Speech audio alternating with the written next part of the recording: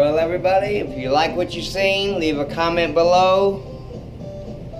Don't forget to hit that thumbs up. Subscribe for more videos. We can only pray that this don't go like this.